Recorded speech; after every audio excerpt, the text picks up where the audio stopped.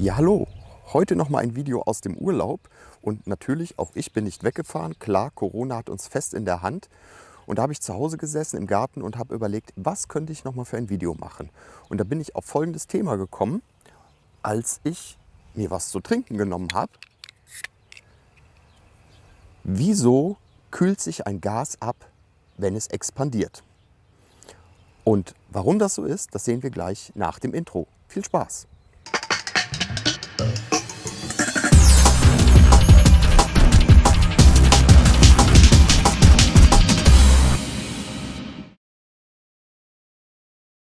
Den Grund oder den Effekt, warum sich ein Gas abkühlt bei Expansion, nennt man den Joule-Thomson-Effekt.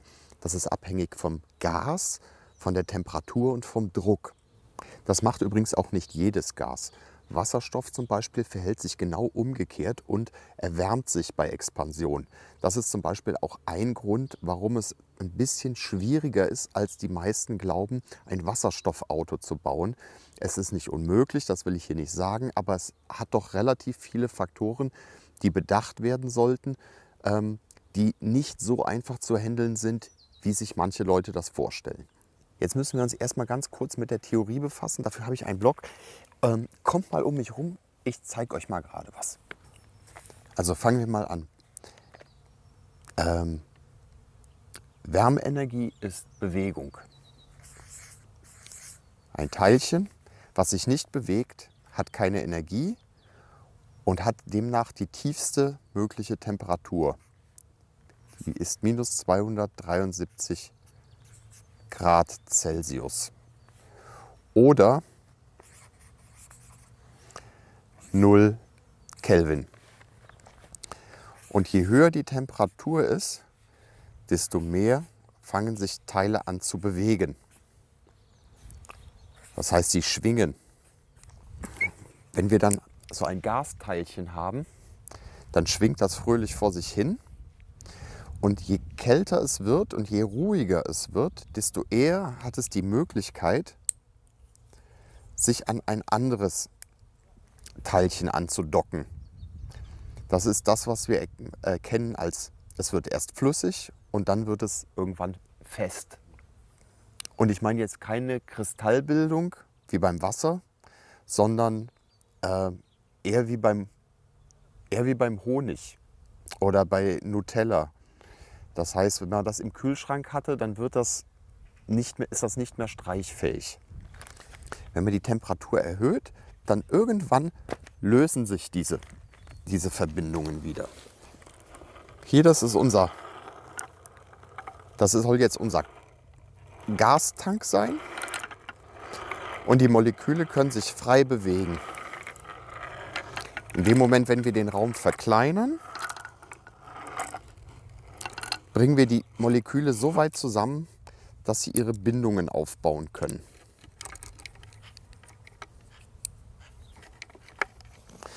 So, und bitte nicht falsch verstehen. Es, wir sprechen jetzt hier nicht von Bindungen wie zum Beispiel eine, ähm, eine Verbindung zwischen, zwischen Wasserstoff und Sauerstoff, also sprich Wasser. Davon, also wir sprechen nicht von einer äh, Molekülbindung, sondern das sind einfach, äh, ich nenne das jetzt mal das Zusammenkleben. Oh Mann, bei der Erklärung, da krempeln sich manchem Chemiker die Fußnägel gerade hoch. Aber ich nenne es trotzdem einfach mal so.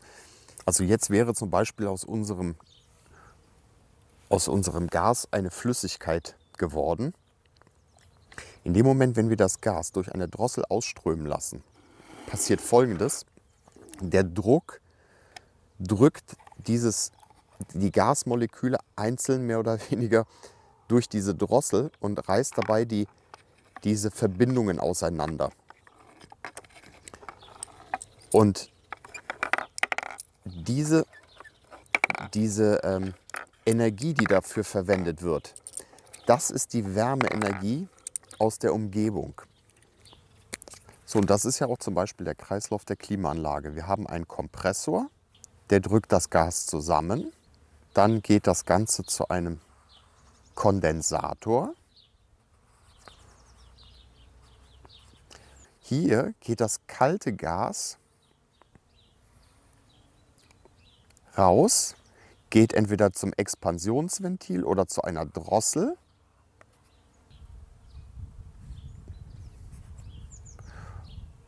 Und strömt dann in den Verdampfer.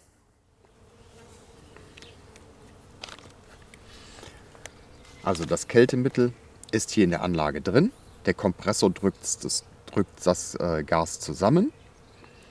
Das heißt, es wird warm, geht in den Kondensator, da wird die Wärme abgeführt. Der Kondensator sitzt vorne hinter dem Kühlergrill, noch vor dem, dem Kühler vom äh, Auto. Das heißt, es kann an die Umgebungsluft kann die Wärme abgeführt werden.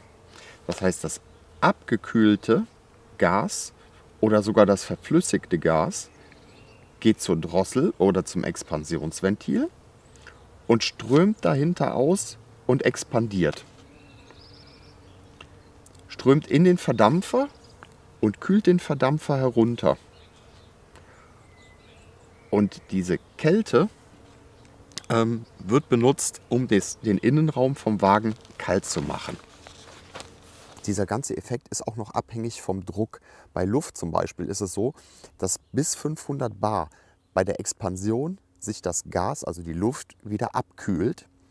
Über 500 Bar äh, würde sie sich erwärmen. Das heißt, wenn man einen Druck hat von, ich sag mal, 1000 Bar und würde das, die äh, Luft wieder ausströmen lassen und sich expandieren lassen, dann würde die Luft sich erst erwärmen und dann abkühlen, wenn man die 500 Bar unterschritten hat. Das sind übrigens keine festen Größen, die ich jetzt nenne, sondern das ist so Pi mal Daumen. Also wir können zusammenfassen, bei den normalen Gasen, in, die wir benutzen, bei den Drücken, die wir, die wir verwenden und auch bei den Umgebungstemperaturen, die wir haben, verhalten sich die meisten Gase wirklich so, dass sie sich abkühlen, wenn sie expandieren. Das sollte man wissen, zum Beispiel wenn man Luft aus der aus dem Druckkessel von einer, von einer LKW-Bremse ablässt, dass man das nicht mit dem Finger macht, weil sonst könnte das sein, dass der Finger vereist ist. Das zum Beispiel musste ich mal als Lehrling schmerzhaft erfahren. So, ich hoffe, das Video fandet ihr gut und interessant und ihr wisst jetzt, warum sich Gase abkühlen, wenn sie expandieren.